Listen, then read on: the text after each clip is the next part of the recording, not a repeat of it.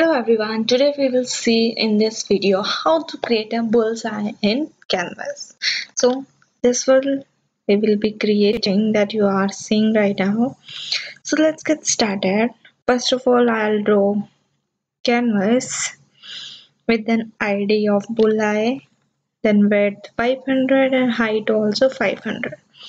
Then I'm starting writing my script that will be where canvas equals to document dot get element by id and that id will be bullseye.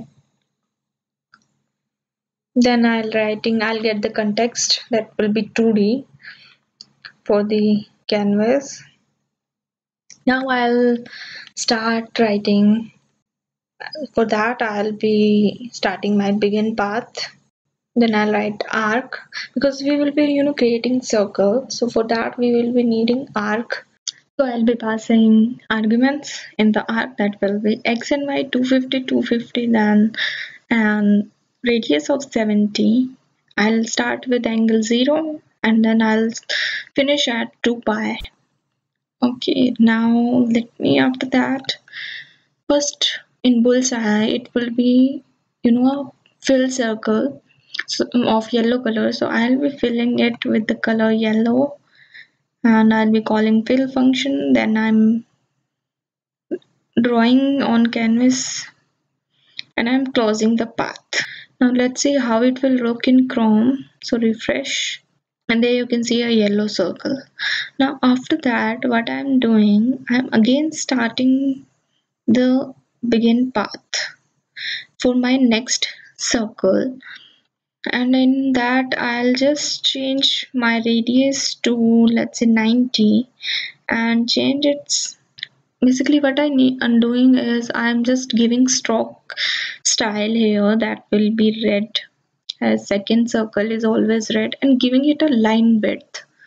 Line width of let's say 25 and let's see how it will look in chrome so there is some space in between. So to cover that space we need we will need to change it to 80 let's say. Now let me create the third circle that is blue one. Next i'm going to create radius for one uh, let's say 100 then i'm changing its color to blue and i'm keeping the same line width. Now next refresh so there you can see now it's having no space in red and blue. And also its blue circle is there. Now next again I'm creating fourth with radius 120 and color black. After that also I'm creating fifth one that will be having 150 radius let's say no. 160 and then color is also going to be black and line width let's say 2 refresh. And there you can see a bullseye now what I'm doing you have seen that there is so much line of code repeating.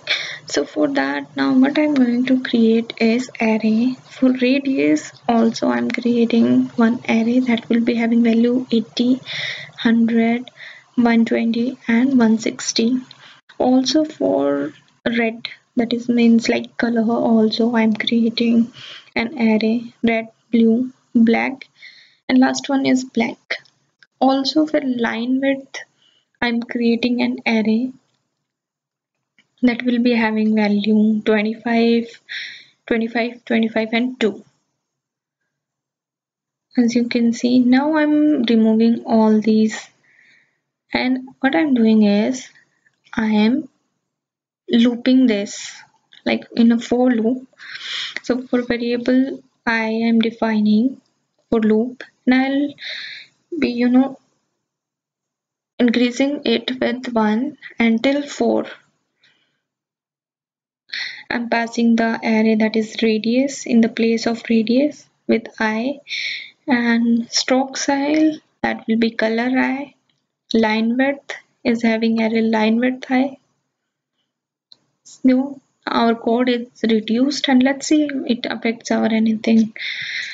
So refresh you can see it doesn't affected anything so that's how you can also reduce your code so in this video, I have shown you how to create bullseye in Canvas. Hope you like this video. Please like, share and subscribe to my channel that is Knowledge Thrusters. Thank you so much for watching.